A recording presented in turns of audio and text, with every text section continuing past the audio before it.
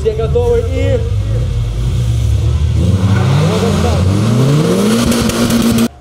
Лед под колесами, трасса чуть больше 4 километров, газ, скорость. На Барнаульском грибном канале параллельно провели сразу два мероприятия. Чемпионат Алтайского края по автомногоборью и второй этап зимних кольцевых гонок. Трасса вообще несложная, но э, у меня автомобиль подготовлен под дрифт, э, и, соответственно, резина тоже для дрифта, она не такая, сказать, у нее меньше зацепку, за счет этого время теряется. Там даже там 2-3 секунды уже это критично. Так, в принципе, у меня разрыв с остальными участниками получается совсем небольшой.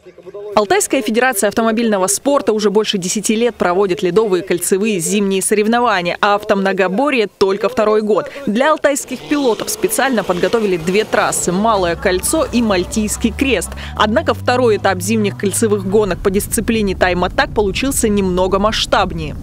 Участники сходятся практически в одной точке.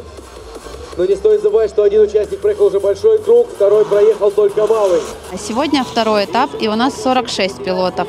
Пилоты приехали из Новокузнецка, Новосибирска, Горно-Алтайска, Бийска, очень много из Барнаула и Троицкий район, Первомайский район. То есть достаточно интересная география.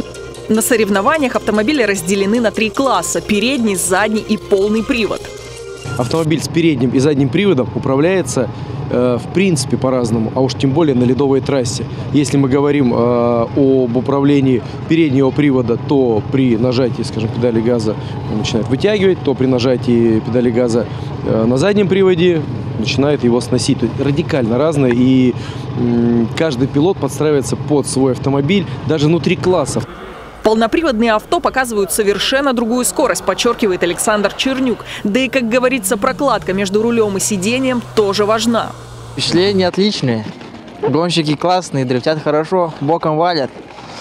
Главное газ не отпускать, работать газом надо. Хорошие заезды, хорошая трасса. Погодные условия не очень. Зато зрелищные.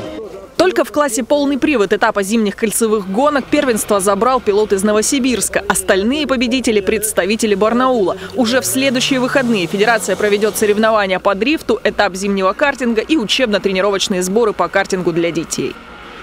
Юлия Щепина, Владислав Ковалев. День с толком.